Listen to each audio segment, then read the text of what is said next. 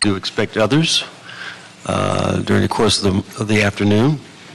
Uh, Members with no objection, we're going to move items four, six, seven, and eight on consent. Four, six, seven, and eight.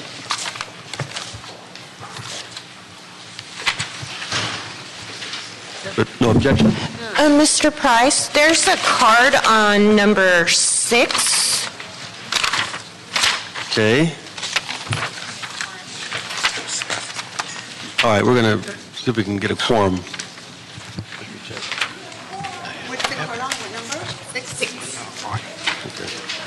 All right, in the interim, why don't we, uh, we've got two prospective commissioners, um, Mr. Ray Bishop for the Los Angeles Convention Center and Exhibition Authority Commission, why don't you come on up? And Mr. Keith Martin. Both of you gentlemen would not mind joining us. Morning. Good morning. I think we can even provide you with a chair somewhere. Ah, there it is. Well, gentlemen, this is a, certainly one of the longer titled commissions, and uh, giving the news of the day, past several days, one of uh, great deal of interest. Uh, Why don't you give the uh, council and those in attendance a chance to just learn a little bit more of you and your interest and your commitment to serving in this important capacity. Let's start with you, Mr. Bishop. Uh, Well, uh, first of all, thank you for the honor. I uh, have served uh, under Mayor Bradley on the uh, Council on Aging, and previously I served on the Harbor Commission, the Export Terminal, under Mayor Riordan and then Mayor Hahn. I'm a uh, Vietnam veteran, a founding member of Teleco, a former uh, hospital chairman, and uh, member of the Producers Guild, and owner of a comedy club, so I know uh, the entertainment business convention, and more importantly, I, uh, I uh, work as an activist in, in support of the community, been on the neighborhood council, and work for small business, and I'm uh, honored to uh, be before you today. Thank you. Okay. And uh, so what do you, what kinds of skills, experiences do you bring to this uh, commission that uh, will benefit the commission and citizens of Los Angeles? Uh, I'm sorry, uh, Councilmember I was saying, what kind of skills and abilities do you bring to this particular commission responsibility? Well, I think uh, primarily I have an interest in uh, seeing the uh, community, Los Angeles, grow uh, and uh, to have a good image for the world, to uh, see that there are good events. My own personal skills, I've been a member of the Producers Guild. I've worked to create motion pictures, and I've worked in television. I owned the LA Cabaret Comedy Club for 15 years in Encino and uh, produced shows there. I, I was uh, responsible for creating the entertainment, and uh, the Taste of Encino was something that, when I served on the board of the Chamber of Commerce in Encino, uh, uh, was one of the ideas that we developed, and I provided entertainment for that one, for the Brentwood Street Fair, for the Sherman Oaks uh, Street Fair, the Taste of Tarzana. So I've had a lot of experience dealing with entertainment, and I've served in uh, many um, uh, public uh, areas where uh, I understand the importance of working with people and to provide uh, good entertainment. I understand the value of that, and I think that that's one of the things that I can bring to it. I'm also uh, dedicated, and if there's a there's a certain objective that is defined, that I uh, will help to see that it's uh, it comes about, and uh, and the vision that the city has is something that I hope that we can work together to move forward with. Okay, thank you. Mr. Martin, Keith Martin. Hi. Hi. I'm honored to be here as well. Um, I currently work at Veteran Affairs. I work as a social worker at the outpatient drug treatment program, which is specifically with schizophrenics and psychotic patients. Uh, that's my full-time job. While working there, I also am a board member at Clinica Romero in the Westlake area, uh, which serves also in Boyle Heights. Um, I'm a former West LA uh, neighborhood council member. Uh, I also uh, am a member of Eastside Riders, so I I volunteer with them as well. Um, So, I'm- you know, to answer your question you're asking, Mr. Bishop, you know, my experience is primarily uh, doing a lot of social work in these different kind of programs. I I advocate for the homeless, I advocate for the youth. Uh, Specifically, I also do fundraising for these organizations as well. Okay.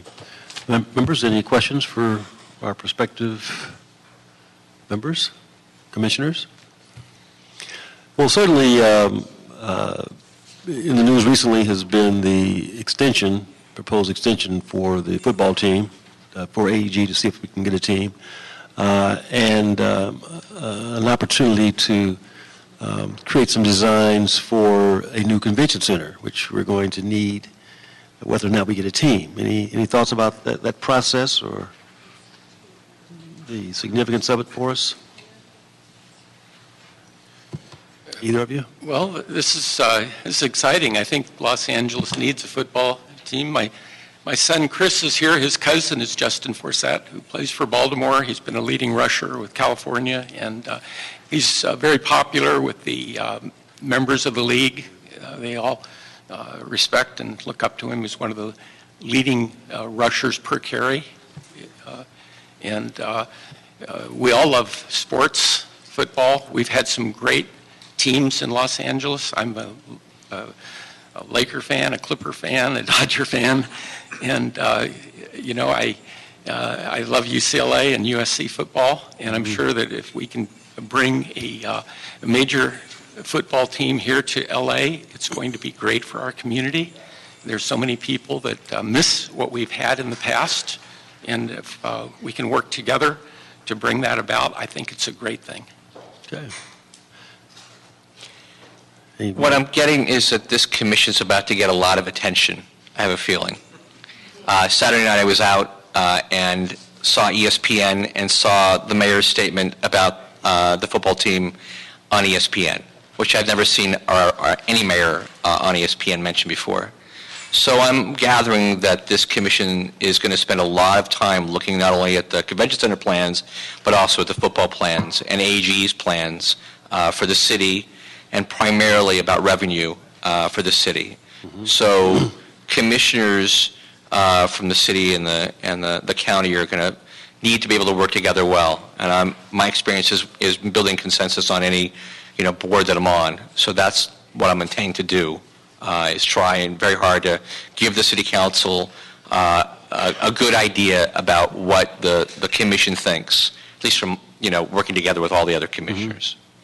Well, I think certainly based on your, your past experiences and, and skills, that uh, the commission and the city will benefit from uh, your, your knowledge and your, uh, your new eyes on this uh, topic, uh, so to speak. Um, And uh, I'm confident that when we get a majority, that we will be able to pass you out with full concurrence and, and, and recommend your approval to the city council at some date soon to be set. Members, any other comments? Okay. Thank you, gentlemen. Thank you for your, Thank you very much. Thank you very much. thank you for your willingness to serve. Thank you. Thank you so much. As soon as we get a quorum, we'll be taking a vote on that matter. We do have one card on this, uh, on this item. Uh, Mr. Herman.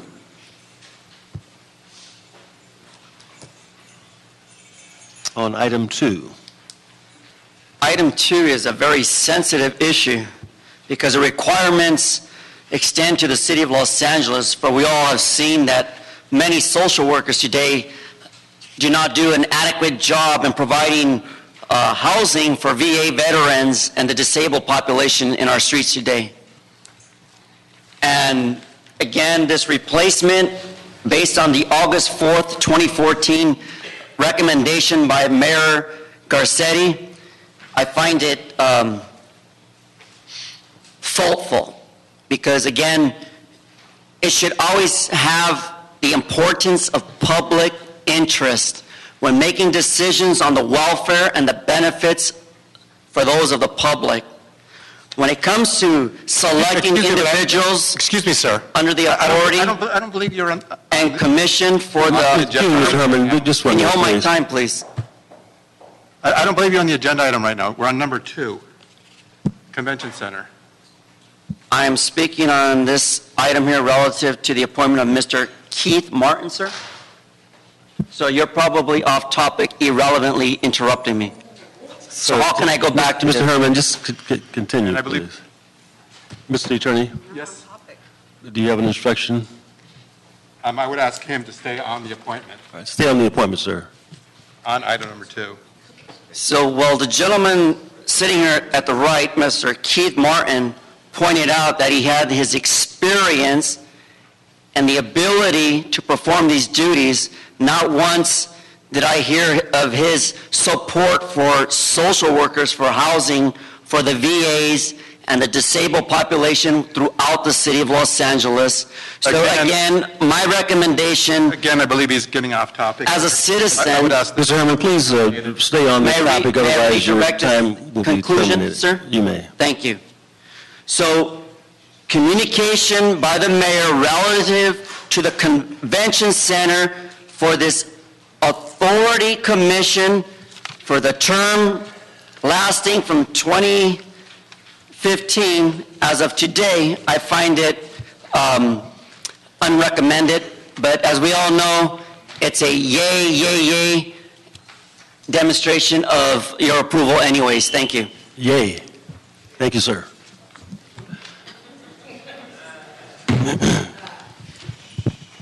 I believe we, uh, I believe we, we required a quorum. Uh, We're going to continue item five. Uh,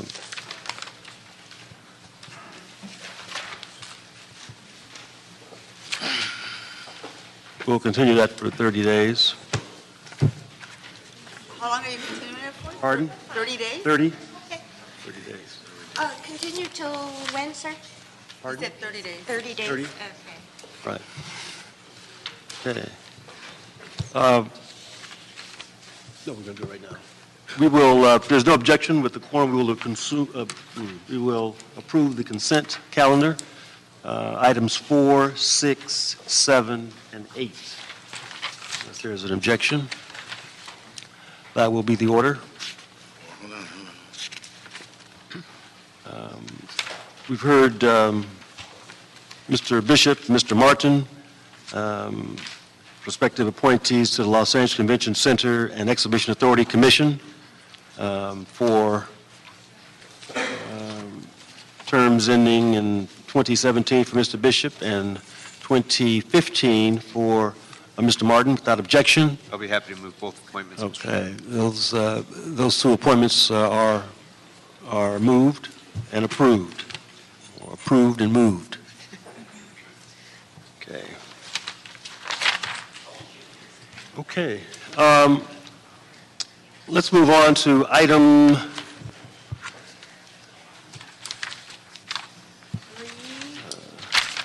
Item number item three. three. Item three. Item number three is a motion, Price, Koretz, Wesson, relative to the feasibility of establishing a City of Los Angeles Fair Chance Initiative, also known as Ban the Box policy, to remove barriers for individuals with a criminal record and an examination of Ban the Box policies in other cities. Um, Members, with, uh, with your support, uh, I introduced the Fair Chance Initiative, also known as Ban the Box, in June of this year. And I'm excited that it's the topic of our discussion at uh, our committee meeting today. The movement to ban the box is growing strong, with several other municipalities and states adopting policies to remove the box from job applications. Even states like New Jersey, with the conservative leader, uh, uh, Chris Christie, signed the ban the box policy. So if New Jersey can do it, so can the city of Los Angeles. Please, please hold your applause. Please, please hold your applause.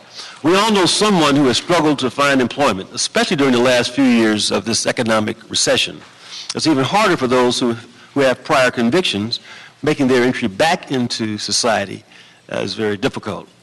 According to the National Institute of Justice, a criminal record reduces the likelihood of a job offer by 50%. the impact is even stronger, even greater amongst uh, African Americans and Latinos who already experience racial discrimination in the labor market. It's no wonder that we have such a high recidivism rate. And with realignment, even more offenders are going to be released. According to uh, figures we've received, approximately 9,000 um, offenders are going to be released, uh, released into LA County alone during this next year. Without a policy in place, many of these people will have trouble reintegrating into society. And it's not just the individuals that suffer, but their families as well, uh, and the community at large.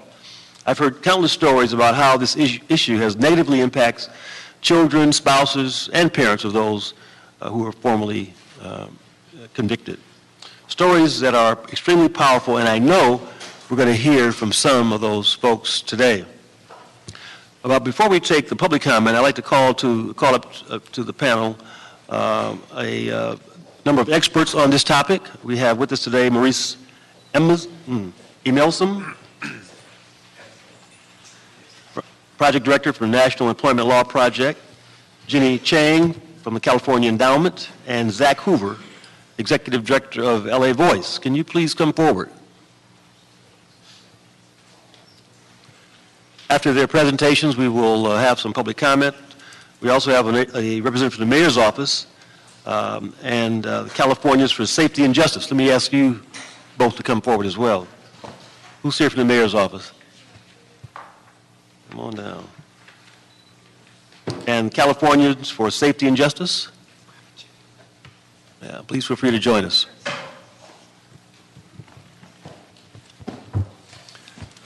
Okay, let's, uh, let's, present, let's begin our conversation. Um, Maurice? M. Imsels. Emsellem. Emsellem. I'm going to defer to my colleague over here. I think she was. Okay. I'm gonna go. All right, we'll go with with Jenny. Yes, Jennifer. Okay. Good afternoon. My name is Jennifer Chiang, and I'm a program manager at the California Endowment. I want to thank Chairman Price and the other members of the committee for the opportunity to address you this afternoon on the Fair Chance Hiring Initiative. For those of you familiar with the endowment, you know that we are a health foundation, and you may wonder why we're interested in an issue like Ban the Box. It's because we believe that good health is determined by much more than just having health insurance or going to the doctor. It's determined by the places where we live, work, and play, in short, by our communities. In particular, healthy communities are those where all people can take a healthy and active role, and this includes youth and people coming out of prisons and jails. In addition, we recognize that good health is not evenly distributed in our society. In particular, boys and men of color have the shortest life expectancies and fall short on many indicators of good health and well being. Creating healthy communities cannot be achieved in any meaningful way unless the negative health trends experienced by boys and men of color can be reversed. It is for this reason that we have developed a specific focus on boys and men of color through our Sons and Brothers initiative. Through Sons and Brothers, we are working to keep young men on track in school and to help them to get back on track when needed.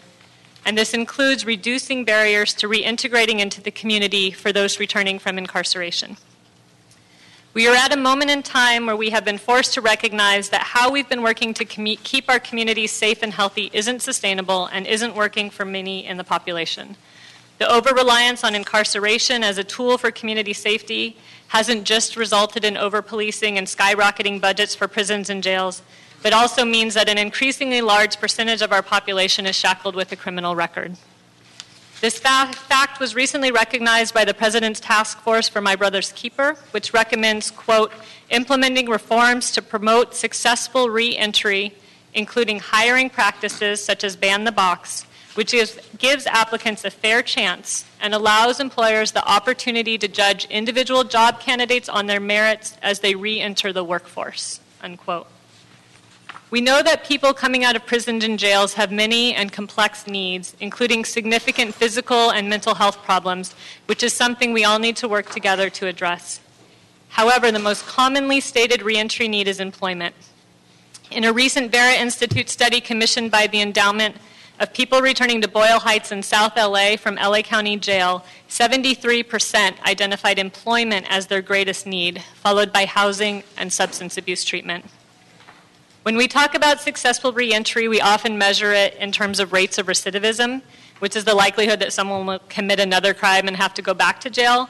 But we think this is a very low bar to set for ourselves. We don't just want people who have spent time in jail or prison to stay out of trouble, but we want them to become productive, contributing members of our society. And employment is a big part of accomplishing both those goals. So we should be doing whatever we can to reduce barriers to jobs, especially those barriers that come into place before the hiring process even begins. Ultimately, we know that having a job will reduce recidivism, contribute to family reunification and stability, and help people to live healthier lives. We all, all of us, desire to be given a fair chance and be judged by our merit, not just by our greatest mistakes. Ban the Box helps to reduce barriers for those re entering our community and gives them a chance at meaningful employment, self efficacy, and contributing to the betterment of society, which is something that we all desire. Thank you for your time. Thank you. Thank you for your comments. Uh, Zach? Oh, no, now you want to My go. turn now. Now you want to go. Okay, I hope Maurice. that's okay. Uh, Chairman Price, members of the committee, thank you for this opportunity to testify in support of the City Council's motion to establish a fair chance hiring initiative. My name is Maurice Emsellem. I'm Director of the National Employment Law Project's Access and Opportunity Program. We've had the privilege of working here in California and across the country on dozens of fair chance hiring initiatives, partnering with local organizations like LA Voice, Homeboy Industries, New Way of Life, and government officials. Today, I'd like to offer a bit of a national perspective on the fair chance hiring movement that has spread across the nation and highlight some of the best practices that can help shape a strong and fair policy tailored to the needs of Los Angeles workers and employers. With the exceptional leadership provided by you, um, Chairman Price and Mayor Garcetti, we believe that a genuine opportunity exists to forge an LA policy that can be held up as a model for the rest of the nation to follow. First, it's important to emphasize the breadth and depth of the employment challenges facing people with criminal records. There are an estimated 70 million U.S. adults with an arrest or conviction record, and over 1 in 10 10 of them reside in California. That's an average of about 1 in 4 adults who have a criminal record that'll show up on a routine criminal background check. And the situation is dramatically more severe, of course, in communities of color, urban areas in and around Los Angeles that have been hardest hit by overcriminalization and mass incarceration. Given the vast proliferation of background checks for employment, nine out of 10 employers now conduct background checks for employment. It's nearly impossible for people with records to compete for jobs, even in a growing economy. Without minimizing the challenge, clearing the path to employment can make all the difference in the lives of people with criminal records, their families, and communities. One study that helps drive this point home followed a cohort of about 2,000 people who were released from Illinois prisons. The three-year recidivism study found that formerly incarcerated people with one year of employment were three times less likely to end up back in prison than everyone else. Given the devastating numbers of people with a criminal record in major urban areas like Los Angeles, it's not surprising that the local economy suffers as well when they are routinely and unfairly shut out of the labor market. For example, a Philadelphia study found that securing employment for just 100 formerly incarcerated people would increase their combined lifetime earnings by $55 million and increase their tax contributions by $2 million. At the same time, the study documented another 2 million in criminal justice savings annually. And although there's a long way to go, there's clearly momentum building here in California and across the country to turn the situation around. That's the good news. There's probably no better example of the vibrancy, the vibrancy and power of the criminal justice reform movement than the fair chance hiring initiatives that have rapidly taken hold around the country. Fair chance hiring refers to a set of hiring policies designed to ensure that applicants with criminal records are evaluated on the merits of their qualifications, not just their criminal records. Fair chance hiring incorporates ban the box policies, which remove the criminal history question till the end of the hiring process, but they also encompass broader, a broader set of criminal background check protections, modeled on the best practices um, promoted by the U.S. Equal Employment Opportunity Commission, which I'll talk a little bit more about later. It's been a remarkable couple years of fair chance hiring activity, which provides an indication of the special opportunity presented here in Los Angeles to forge broad consensus around a robust fair chance hiring ordinance. Already a couple examples of all that activity has been mentioned. Jennifer mentioned the endorsement from the President's My Brother's Keeper Task Force. That provided a big boost to the Fair Chance movement. Chairman Price, you mentioned that New Jersey just became the 13th state to, to enact fair chance hiring legislation, but it's also the sixth state that covers not just public employers, but all private employers as well. Uh, and there's a beautiful quote from Governor Christie uh, uh, endorsing it, not just signing the legislation, but strongly endorsing the legislation. Uh, in July, California's ban the box law took effect as applied to all public employers in the state. We surveyed the state's largest cities and counties and found universal compliance with the new state mandate. And nationally, there are now over 70 cities and counties that have adopted fair, hand, fair chance hiring, including a growing number that apply fair chance hiring to the private sector. In addition to San Francisco, which implemented its private sector law in August, the new list of cities that have expanded fair chance hiring to private employers includes Seattle, Philadelphia, Baltimore, Buffalo, Newark, and the District of Columbia. And there's also a bill supported by Mayor de Blasio that is poised to pass the City Council, also covering private sector employers. And finally, we're seeing here many more employers embracing fair chance hiring in the employer community. For example, Kaiser, we, we recently completed a study of healthcare background checks. Kaiser Permanente sat down with us and pledged to remove the criminal history question from its job applications by the end of the year. So they'll be joining Target, Walmart, and several other major retailers that already do so. Several chambers of commerce have also supported fair chance hiring, including the Los Angeles Chamber of Commerce, which endorsed AB 218, the new California state law. Given all this activity, Los Angeles has the benefit of significant experience from cities and states across the nation to shape a fair chance hiring ordinance that is both robust, robust in its coverage, but also in its implementation and enforcement. We wanted to highlight uh, just wrap up by highlighting some of the, the special provisions of the San Francisco ordinance, which we think are helpful for Los Angeles to consider. Like a growing number of states and cities, San Francisco applies its fair chance hiring policy to private employers and city contractors, and of course, that's the critical first, net, first step to a model policy. Second, it prohibits employers from asking about the criminal history question until the end of the hiring process. And then in addition to these core provisions, the San Francisco Fair Chance Ordinance guarantees a full and fair process that requires people with a criminal record to be judged based on their life experiences since their conviction. For example, it prevents employers from considering convictions older than seven years, along with expunged records, arrests, and juvenile records. It includes important consumer rights that the worker has to receive a copy of the record to verify its accuracy and a statement explaining the reasons why the employer is considering denying the individual the job based on his or her criminal, criminal record.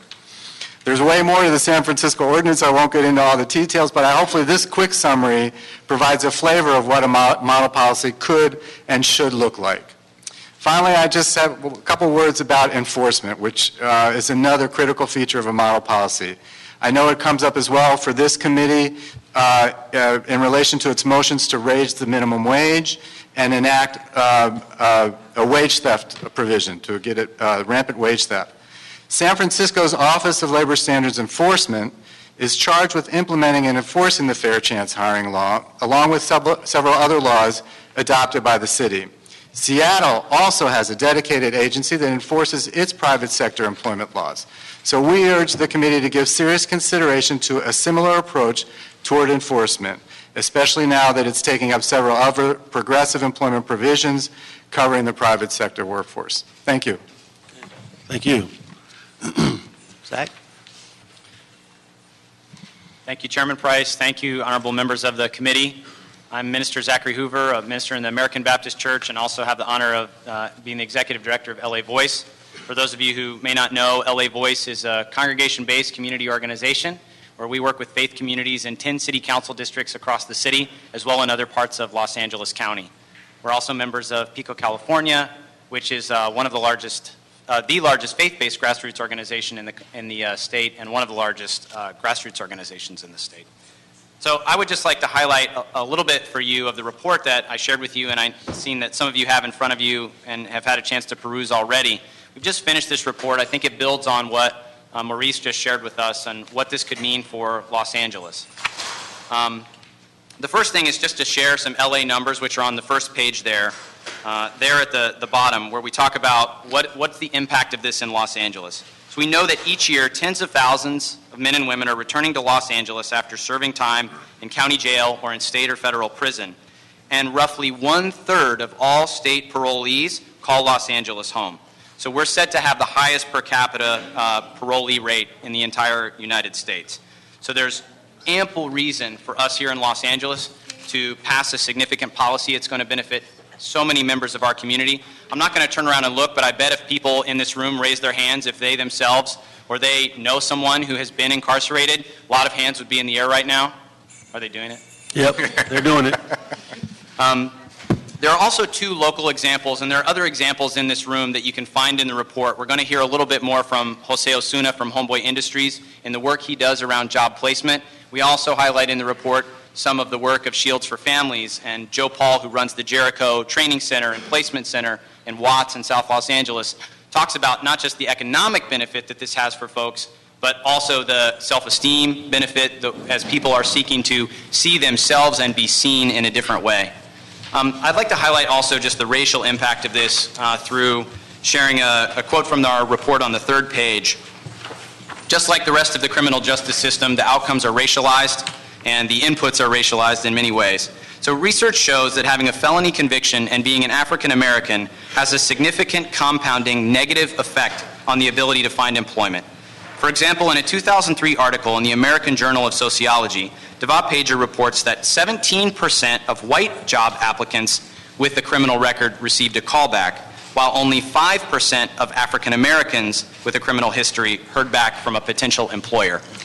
So we can see that in, in addition to already the challenges that communities of color face around employment, when we add the criminal conviction history to it, it's, uh, it's, it's uh, what's the word? It's, uh, it's like a parable, a uh, parabol, parabola? What's that thing called? Um, anyway, math. Yeah, It's a problem. So, um, and then just lastly, I want to draw your attention to one, one final piece here. We interviewed Assistant Chief of LAPD, Michael Moore, for this report, and uh, he himself identified four areas that, when addressed, increase the opportunity for full integration mental health services, substance abuse counseling, housing, and a job. And I just want to quote here from the report and from Chief Moore.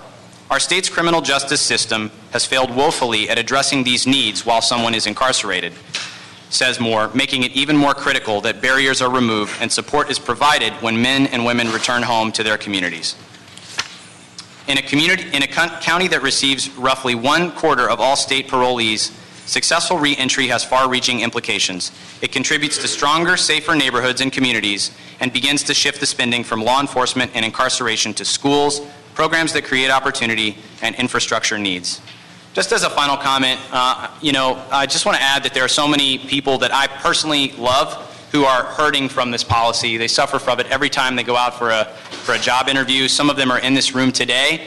And I see the impact that that struggle has on uh, the other struggles that they're facing in their lives. And I'm just very excited to, uh, to be here and have the opportunity for us to look at this in a serious way, what we can do for formerly incarcerated Angelenos, our brothers and sisters in this city. Thank you. Thank you for your comments. Good afternoon. Abigail Marquez, a Workforce Development Director in the Office of Mayor Eric Garcetti. Thank you to the council members of this committee for your leadership um, and to, especially to Councilmember Curren Price for bringing this very important issue to light.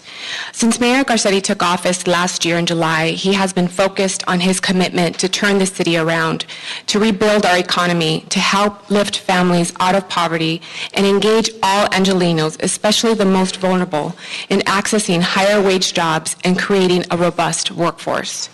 Our role as public servants is to ensure that we don't leave anyone behind. So when we talk about expanding training and employment opportunities for Angelinos, particularly hard to serve populations, then we must also look at policies that we need to implement or revise or expand to remove barriers to employment. You just heard the staggering reentry statistics from our state and especially here in our region.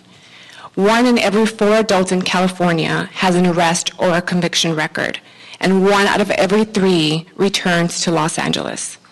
This issue impacts individuals from across multiple demographics. It impacts veterans, homeless individuals, people with disabilities, youth, women, people with mental health challenges, former gang members, families, and especially children. So on behalf of Mayor Garcetti, we are supporting legislation to extend a fair chance to all Angelinos and to ban the box here in LA, not just from our employment application process, but to take this even further and look at ordinances that have been implemented in similar cities, such as San San Francisco. Nothing is more effective at breaking the cycle of recidivism than a good job, and that's what this is all about. We look forward to working with members of the City Council and the business community here in Los Angeles to identify strategies and implement policies that will create fair employment opportunities and give individuals with prior convictions a second chance. Thank you. Thank you. Californians for Safety and Justice. Yes, hi. Uh, my name is Mike Della Rocha. I'm the Director of Strategic Partnerships for Californians for Safety and Justice. Uh, before I go on, I just want to say thank you for your leadership to put this forward. Um, both you as the electeds and your staff, as a former staffer here, I know how much work it takes, so thank you so much for bringing this forward. Um, Californians for Safety and Justice, we are a statewide organization um, headquartered in Oakland, but we have staff throughout the state. We help provide technical assistance and support to legislators and elected officials. And we currently run Crime Survivors for Safety and Justice, which is the largest network of crime victims in California right now.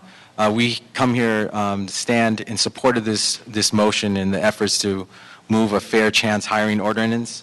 Um, this would provide an opportunity for LA to join San Francisco, Baltimore, Philadelphia, and other cities that were mentioned in terms of implementing policies that impact multiple communities. It's not just formerly incarcerated, but it's veterans and youth, the homeless population, the disabled, and others. So this is a broad-reaching effort that would impact numerous communities. Our studies, a work across the state, as well as the testimony, as you'll hear, prove that these kind of policies do a number of things, but three things I really want to highlight is one is they reduce recidivism, two, they increase public safety, and three, they remove unnecessary barriers to employment. This opportunity that we have would complement not only your councils, but also the mayor's efforts to remove unnecessary barriers and provide people an opportunity to get a job. So it's not only a practical thing to do, but it's the right thing to do and in alignment with what's going on, not only here, but across the country. So I thank you for your leadership and look forward to working with you as we move this forward. Thank you. For, for the audience, let me just uh, clarify, this is still a work in progress. There is nothing before us to vote on today. Uh, We're told that we should have a report back from the CLA in, in six, in 45 to 60 days, and so we'll be taking a, a specific proposal at that time. But I think uh, the input, the discussion today is, uh, is important uh, as this um, works its way through the process, and certainly uh, providing uh, elected officials and other a better understanding of, of the impact, the scope, uh, what the obstacles and what the opportunities are for a fair chance hiring kind of initiative. I think there are some questions, but let, let me ask kind of an overriding one.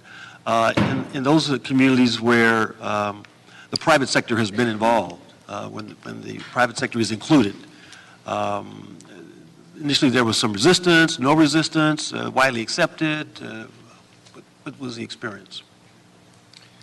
I mean, I, I know San Francisco is probably the best example of that, where they, they were involved, uh, and, and Target was involved because they, uh, At based the on. Target, UPS, and Walmart. Walmart? Well, Target was actually involved, though, in helping to uh, work on the San Francisco ordinance per se, um, and then, and again, the the San Francisco Chamber. And and I think it had to do with the quality and support of the ultimate product as well. And and and I can just tell you, it's one of the best ordinances there is in the country, and and it was backed by the Chamber. It's not, you know, everybody comes to the table with their issues, and it's very hard sometimes to predict what issues the employer community have, other communities will have, but it's important to have that discussion to come up with the best policy. Thank you. Mrs. Martinez? Uh, I have, just maybe you can help me clarify this. So the way I understand AB 218 to work, it only applies, and it went into effect July 1st of this year, right? So it only applies to state and local governments in California. So what the study would be doing, the report would be asking is how we would implement it in Los Angeles to apply to the private sector? And are you supporting any, is there an effort statewide to, to do that, which you're asking the city to do, to look into, whether it, whether, how, how it can be applied to the private sector? Are we looking at that uh, statewide as well? Because it did, because two, two, AB 218 didn't uh, the public sector did not, was not included in that, correct? Right. Right. So is there a movement to do that statewide? Because I almost feel like this also needs to be something that the state, should be a state fix to this issue. Right. I mean, we just got the law, it was just passed a year ago, just implemented st- and starting with the public sector, which is, which is also very consistent with the way this issue issue's played out in other states. Minnesota, for example, started with the public sector, and eventually, uh, some of the cities did private sector, and eventually the state went ahead and did private sector too. But it's, you know, it, these, these policies start from the ground up, and, and, and the stronger policies often start in local communities where there's a lot of need, like Los Angeles. So I would say that's kind of how those, the, the state policies where they exist, that's often how they've evolved. Did Uh, AB 218 include the private sector at the beginning? No, never. It was only Never.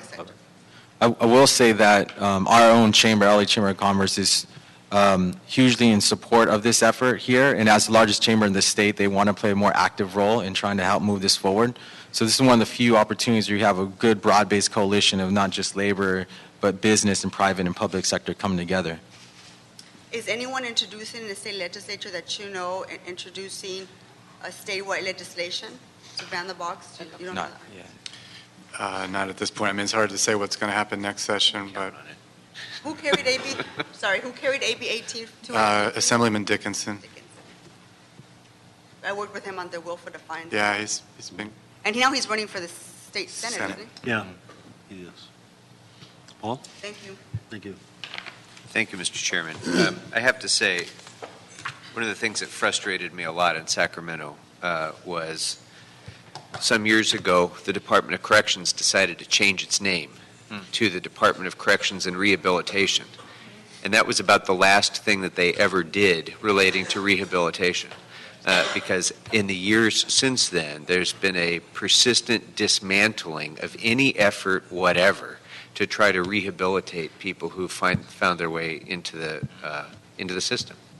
Um, When we were, three of us were, were there at the time, and we were having to endure these budget cuts at the state level, things like literacy programs and job training programs and, uh, you know, violence counseling and things, the, the, the most cost-effective, most common, substance abuse uh, prevention, the most common sense steps that you could possibly take, uh, not only to improve the lives of the, those who are incarcerated, but everybody in the state and reducing the risks to public safety. That, that, and, and all of those things were being swept away one after the other. So a, a step like this that allows people to move forward in getting their life together, getting a good job, any job, um, is uh, just such an important step forward. Mr. Chairman, I want to applaud you on, on bringing this forward because I, I, I can't stress enough how important this is, not just to the people who are currently being shut out from the employment market, but to our economy, to public safety, um, to our cities, city and county budget. Um, in, in almost every way, this is a, a big step forward, I think, uh, for us as a city.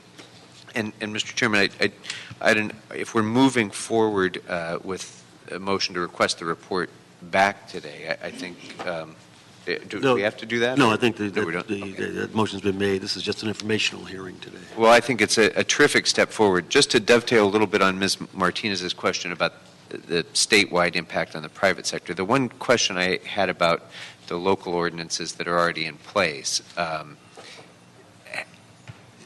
the- if, if you are applying this broadly to the private sector, is there precedent for uh, local government to um, have an ordinance dealing with the hiring process outside of contracting and so forth um, that would not be preempted by state fair employment and Nothing- housing law? preempted. And has that ever been, th- so that would be preempted unless there's a contract? No, no, no, or- nothing's been printed, no, no, it- has it it's been it's tested? been legislated in, in, uh, you're asking about California or elsewhere around the country? In, too? in California, Yeah, just in because of the California, breadth there are a of the- few localities, Richmond, a couple others, San Francisco, and there's been no discussion of preemption. I mean, this is all, these are all, uh, in terms of the human, say, human rights law, these are all, um, the law is pretty clear that you can add to the protections, just not interfere with current law, and- and this, these ban the box policies just add to the current protections.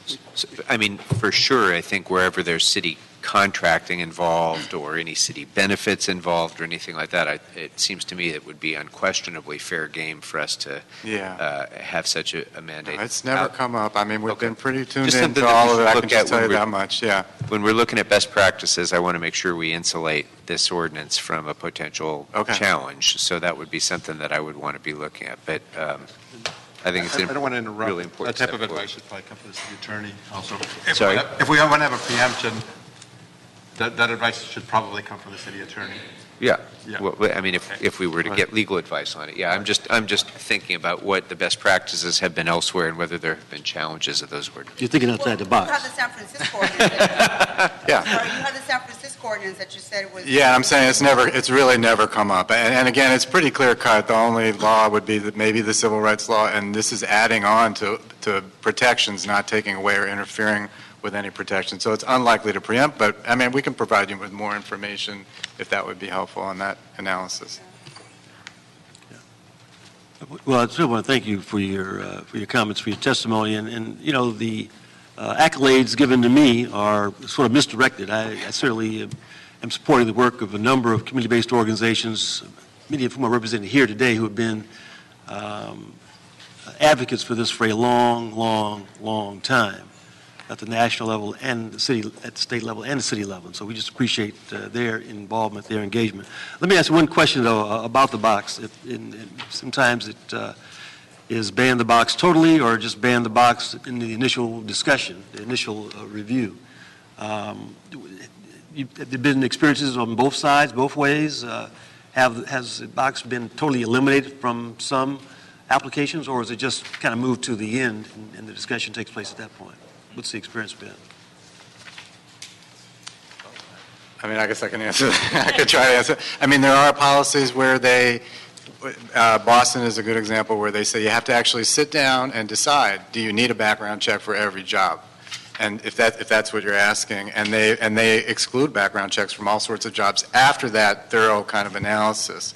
Most places, it's moving it to the end of the hiring process, usually the conditional offer stage, which is very important because then you're, you're able to isolate in every other way, this person appeared to be qualified for the job, and then the criminal record came in. So that's, that's important to make sure that, and some, some policies distinguish between different stages of the hiring process. The conditional offer stage is the most important stage.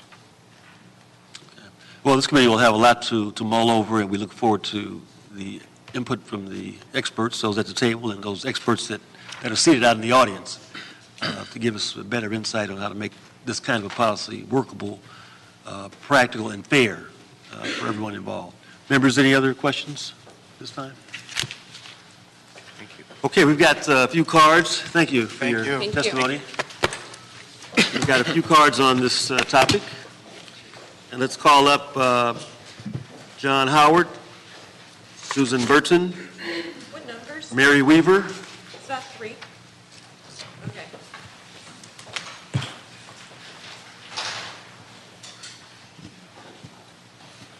When do we expect the report back? about 45 days.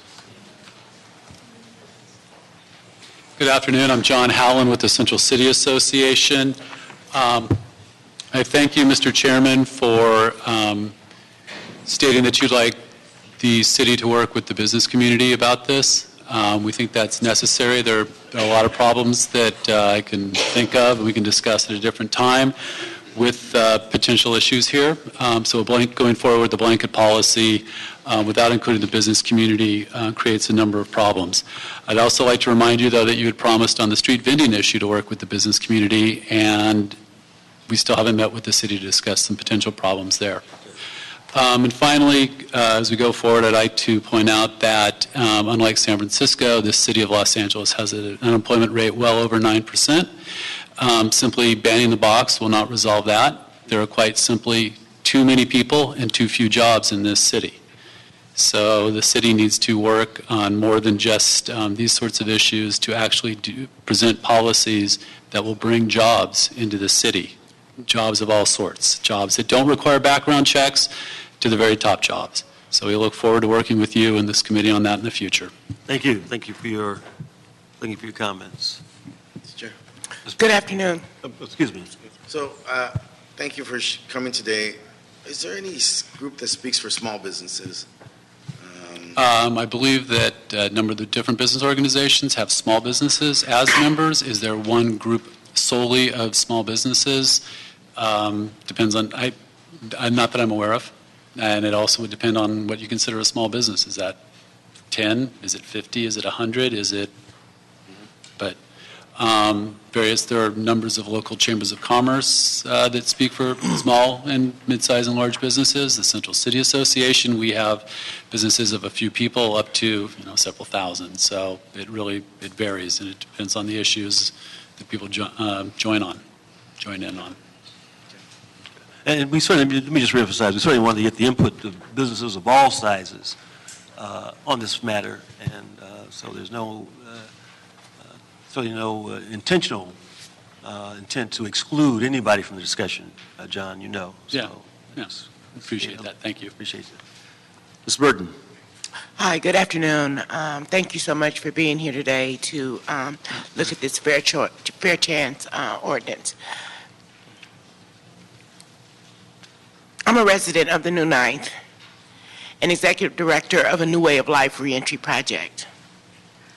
Following my, my experience in the criminal justice system, I found it a place that women would have a, a, a, a, safe place to come back to after they were released from prison. 1982, my five-year-old son was accidentally killed by a police officer. I drank and I used and I got imprisoned. 1996 was the last time I was released from prison. There were multiple prison tri- trips. Every time I left prison looking for a job, looking for housing, there was a box. The box still stays there today. I'd like the residents of a new way of life to stand.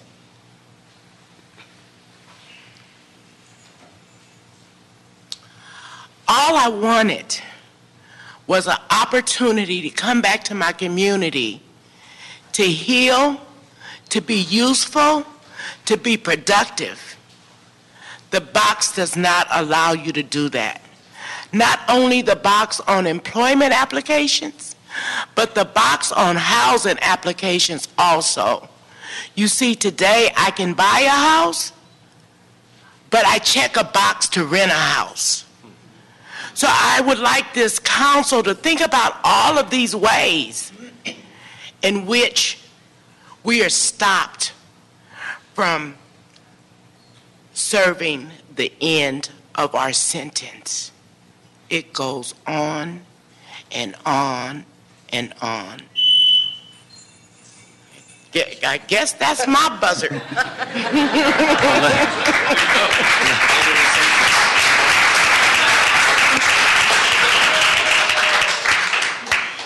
Unless you have something to add.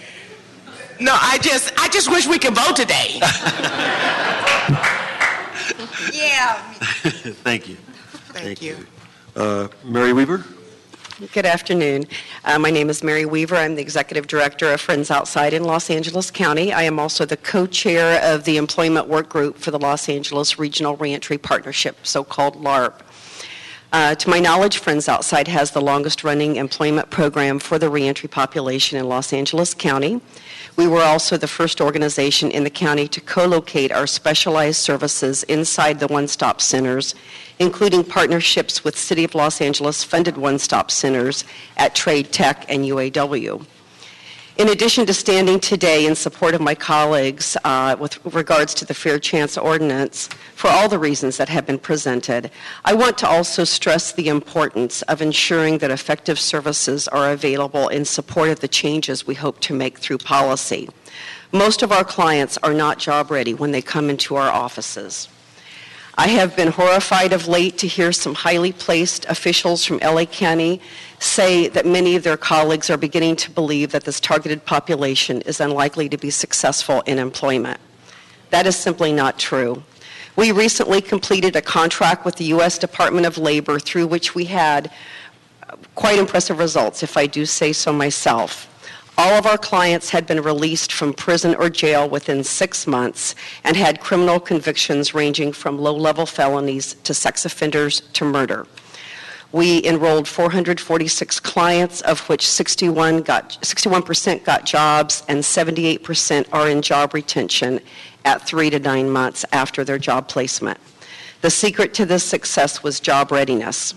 The cost for these services was $2,700 per person as compared with approximately $50,000 per year to incarcerate one person in the general population at state prison and $30,000 in county jail. Going to skip to my end. I'm not quite as good as Susan at, finding, at finishing right on time. Uh, may I take one more paragraph? Um, the federal government made a smart on crime investment through our DOL grant, and that investment has paid off handsomely in increased public safety and tax-paying residents. After the ordinance is passed, I ask that the City of LA make a similar investment on behalf of a safe and prosperous future for all of our citizens by ensuring that the necessary services are available to, encom- to accompany improved legislation. Thank you. Thank you for your testimony. Jose Osuna, Vivian Lee,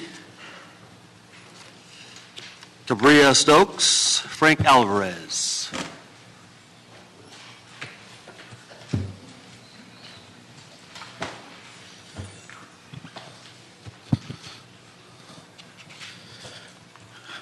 Thank you, uh, Chairman Price, and thank you, the rest of the council members, for uh, taking the time to uh, look at this ordinance, this issue, and thank you for championing it, uh, Chairman Price. Um, I'm Director of Homeboy, uh, not Director of Homeboy Industries. I wish. I'm Director of Employment Services at Homeboy Industries. My name is Jose Osuna. I'm also a member of the reentry population. I served 13 years of my life in the prisons of California. Um, I paid my debt to society during that time, and I have an extensive work experience. Uh, but unfortunately, because I made those choices, my life has been deeply affected. Um, I continue to serve that sentence that Susan Burton talked about. Um, I just wanted to throw some numbers out real quick um, during my time uh, pertaining to my job over at Homeboy Industries. So we serve over 12,000 people uh, in the community at Homeboy Industries. Uh, this year to date, um, 1,800 of those people have come to my department uh, seeking help in finding employment because they find themselves challenged uh, because they have these felony convictions. Um, we have a program that we've been able to really work with the private sector on, which is our solar panel training program. And I just wanted to highlight how, um, the how big the impact is when the private sector does uh, work with this population. So that program, uh, we serve over 100 people a year. The recidivism rate for that program is 3%. The national rate of recidivism in the United States is 70%. And we have a 70% nationally. And we have a 3% recidivism rate in that program. Um, and we have a 75% placement rate. And that's because employers are willing to look past that uh, felony, past that choice that somebody made, and offer somebody an opportunity. Um, overall, at Homeboy Industries, we have a 30% recidivism rate. Um, so we turn that completely upside down. I think that that speaks directly to how powerful the impact is when somebody's given the opportunity to have a job, how important it is, and how uh, integral it is a part of the reentry process for somebody coming out of incarceration. Thank you. Thank you. I just want to note that Mr. Osuna's statistics are even more impressive because that he's comparing to the national recidivism average, and in fact, California leads the nation in recidivism. We have the worst ref- recidivism rate in the entire country. So if you compare with, national, with California averages, those statistics are even more impressive. Thank you.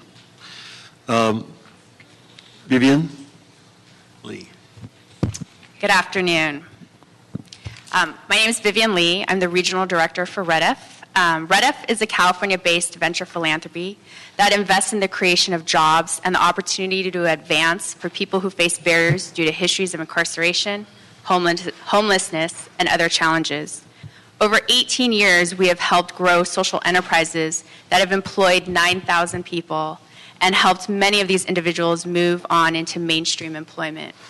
REDF is working with many employers, foundations, and government in Los Angeles and around the state to employ even more people now and over the coming years.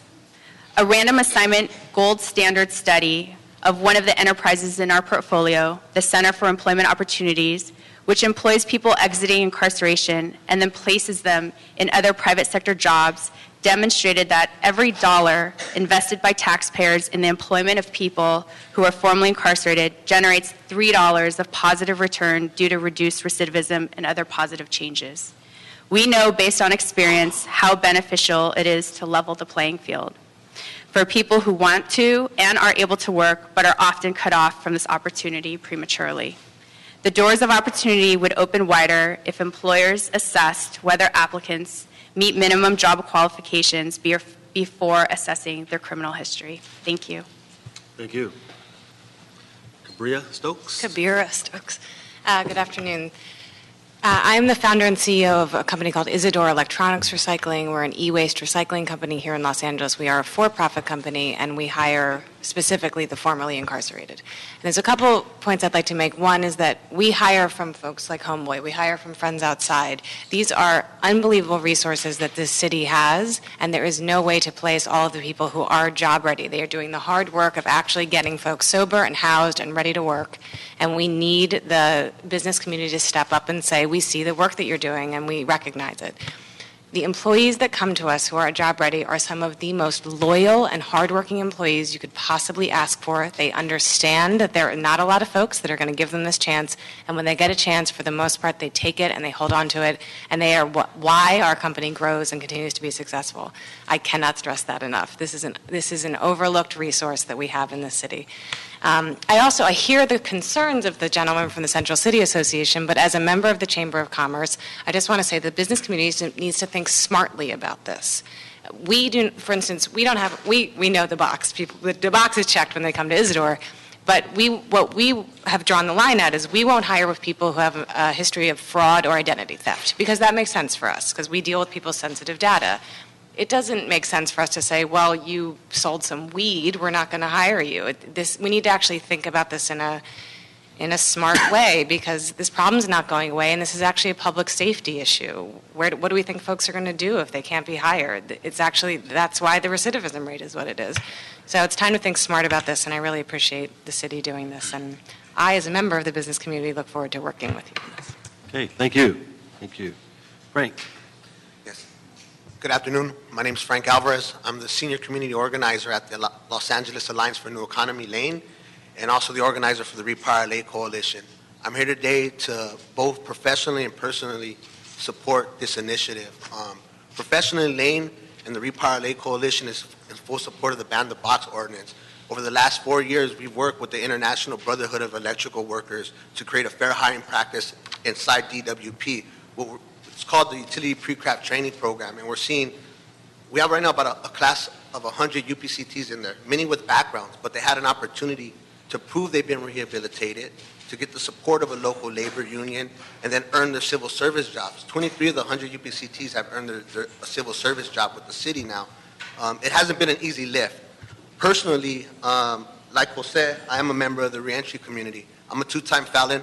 Got my first. I got my first felony as a juvenile. I spent three weeks in juvenile hall and a, and, and a year on probation. My second felony as an adult, three weeks in county jail and a year on probation. I state that just to show everyone with felonies haven't served life long-term prison terms. Simple mistakes you get caught up with as a youth, as a juvenile, that have lifelong repercussions to your um, to your ability to earn employment. Fortunate for me, I grew up in a community where we had access to homeboy industry. So from the moment when I was ready to make that change, I got access to job training. I still go back to this day to get tax removal services. Um, again, this is definitely a, a, an issue that's not going away, and it's something like everyone has said that the city really needs to take a look, have a holistic look, and strategies on how we deal with the issue. Um, again, eliminating it's not just simply eliminating the box, but it's creating a transparent, fair hiring practice where people like myself and others in this room can prove they've been rehabilitated. I'm fortunate enough to work for LAANE, who only looked at my resume and my skill set and my 11-year history of working with other organizations, nonprofit organizations in the city of LA. Um, but again, many don't have that opportunity. Uh, Many are not, don't have a local organization in their area where they could just walk to. Thank you. Thank you all for your comments. Ricardo Reyes. Tanisha Denard. Reverend Mans, Rabbi Alexander.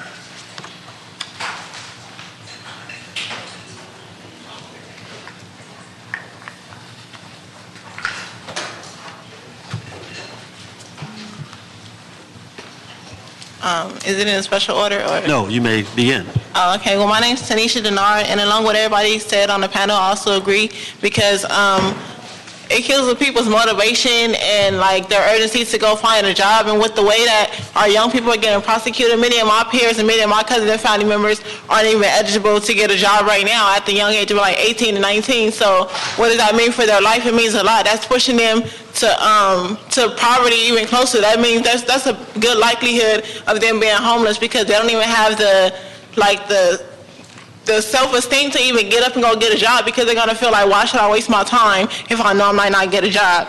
Um, a lot of people are even sent home without the, the uh, like necessary resources to even get a job, so like tap cards, ID, social security cards, and stuff like that. We should have been working with the board of supervisors to pass a resolution so people get that. But what good is that going to be if I can't even fill out an application? So um, I would, I also think that is necessary for those um, things too.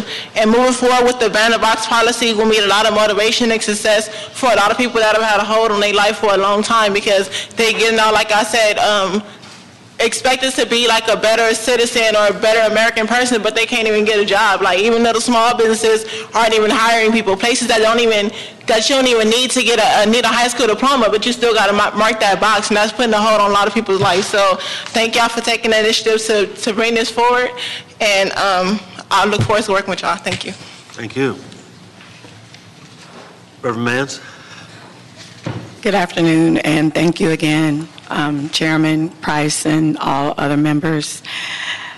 I am the founder of a ministry called the Virtuous Woman Incorporated, and I recover and I work with victims of sex trafficking and domestic minors. And as we know, a lot of them are detained, they're arrested, they're placed in jail. And this initiative, I am 100% support of because, one, it will allow them, once we have brought them back into society through group homes or back with the unification of their families to get them the proper education to prepare them for jobs.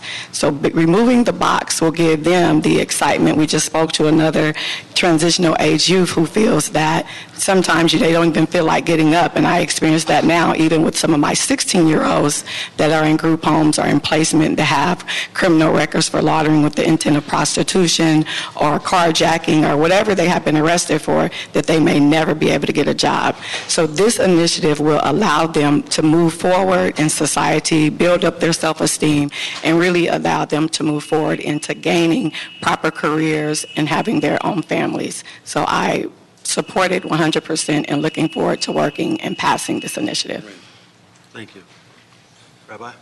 Thank you, Chairman Price and the council for giving space, I think, for the most sacred and dignity-affirming hour I have uh, spent in a long time, and I'm a rabbi.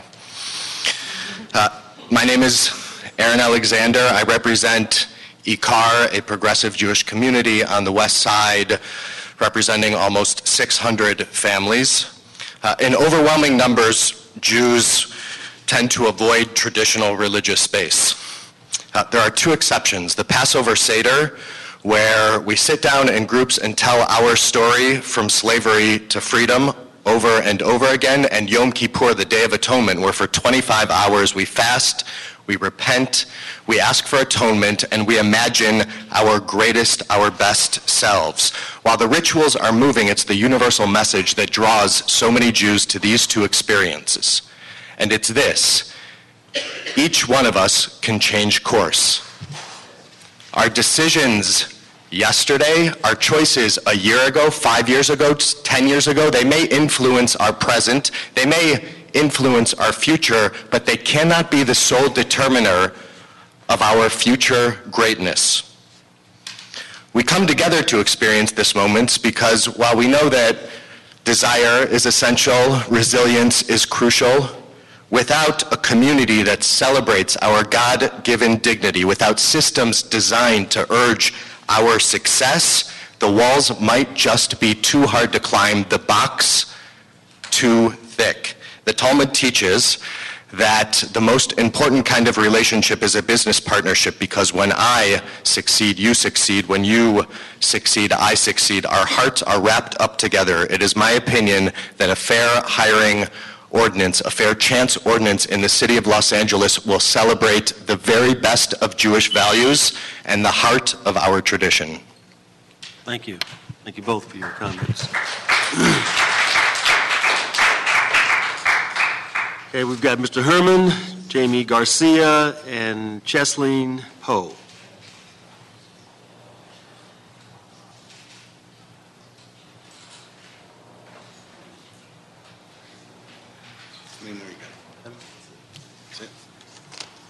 Mr. Herman? i'm going to Pass this one up, sir. Thank you. Thank you. Madam? Hi, my name is Charlene Poe. I'm a member of All of Us or None. I'm also a former client of A New Way of Life. I waited a long time to be able to even consider going looking for a job without checking the box. I started going to prison in 1998, and between prison and, I mean, between uh, violations and convictions, I was uh, in prison between 1998 to 2005. And I would like to say that I would like to see uh, the private sector jobs being considered. It was an article in the Los Angeles Times, October the 1st of 2014, that stated the private sector added 213 n- net new jobs last month. The private sector is from, this report is from the automatic data processing, and it was in the Los Angeles Times.